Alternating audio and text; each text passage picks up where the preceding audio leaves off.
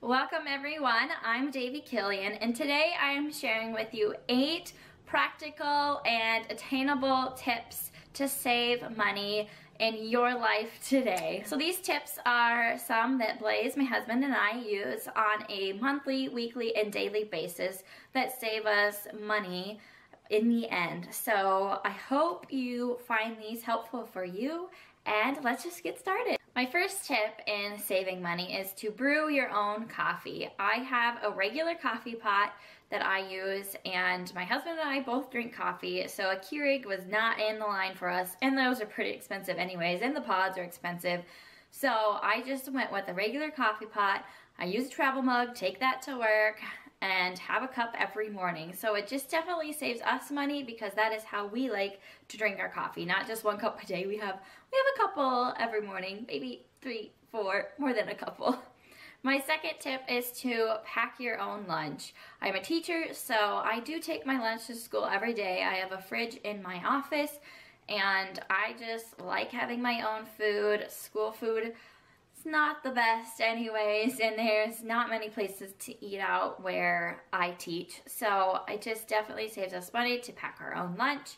And um, my husband works from home so he eats leftovers. So that has saved us a lot of money too. He doesn't feel like he has to go eat out and I don't eat out as well my third tip is to buy sale groceries. So we get a sale flyer from our local grocery store and I just shop what's on there. If you followed me for a while, you know that's how I shop. I like to purchase things that are on sale for the week and just use those as our weekly groceries. Instead of buying things that are really high priced, normal priced, I just always look at what is on sale. My fourth tip is to freeze overripe bananas. This may sound like a weird tip, but instead of tossing them, definitely just freeze them. They're great for smoothies. They're great for making banana bread. Um, a lot of other recipes I use call for overripe bananas. My grocery store even sells overripe bananas at a reduced rate, so sometimes I will just go to buy the overripe bananas. My fifth tip, which may be a little bit trickier for some of you, is to plant and grow your own produce. We have enough space in our backyard to have two gardens, and my husband does aquaponics as well. Um, if you want to know more about that, let me know in the comments below, because that's a whole another video in and of itself. But we plant and grow our own produce and then we freeze it for the winter months. But that saves us so much money on buying fresh produce at the store or at the farmer's market. And it's a hobby of mine anyway. So if you're looking for a hobby, try gardening. All right, my sixth tip is to sell something from your house. So my husband is a reseller on Amazon and eBay, so this is easier for us to do as well. But I like to do it to find a Facebook swap, uh, Craigslist, have a garage sale, um, do something to make a little extra money instead of just letting that junk or things you no longer want sit around in your house. Alright, my next tip is to buy in bulk. Now I don't do this with everything. I just do it with more non-perishable items. Yes, there's only two of us.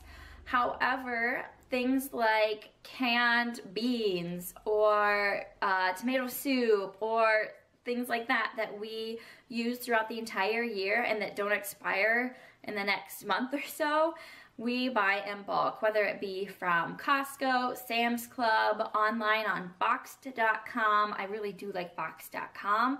Um, you can get things at a discounted rate from those stores and they last quite a while so it saves you a little extra money.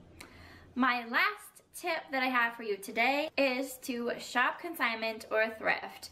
As most of you know, I am a huge thrifter and garage sailor and I pretty much buy all my clothing and home decor from consignment stores, thrift stores, or garage sales. So that has saved us a lot of money. I am not paid full price for anything in my house. And I'm proud of it. I'm not ashamed to say that. And I DIY a lot of things too.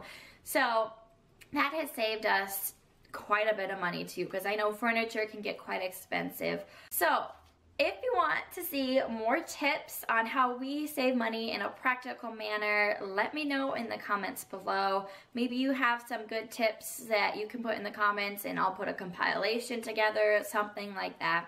Um, and don't think these small things don't save money. They truly do add up.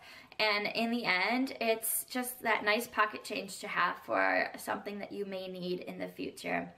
Anyways, don't forget to subscribe, hit the bell notification, and like this video for practical ways to save money.